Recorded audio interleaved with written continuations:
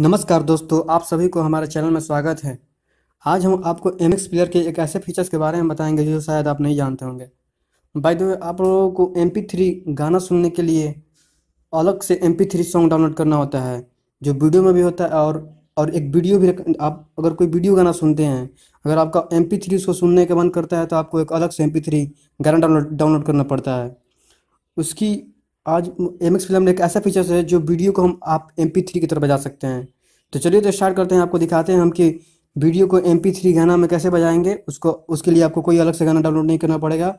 आप वीडियो को ही M P three गाना में बजा सकते हैं। तो चलिए तो स्टार्ट करते हैं। आपको सबसे पहले मैं एम एक्स प्लेयर ऑन करता हूँ। इसके बाद कोई भी गाना प्ले कर ले रहा हूँ। देखिए मैं ये गाना प्ले कर ले रहा हूँ। चलिए।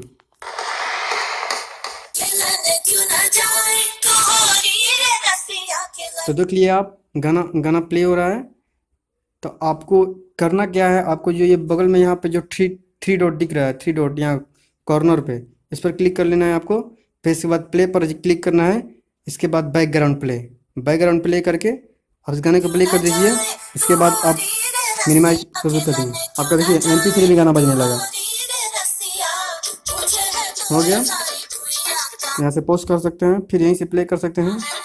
फिर आपको वीडियो में फिर इसी पे क्लिक लेंगे, फिर आप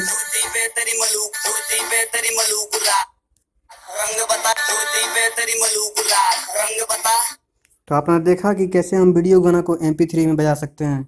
इसके लिए आपको कोई भी एम थ्री अलग से नहीं डाउनलोड करना होगा। चलिए तो आप अब हम इसको बंद करके दिखा दे रहे हैं। अब इसको आप यहीं से टिप क्लिक करके आप वीडियो पर भी आ सकते हैं।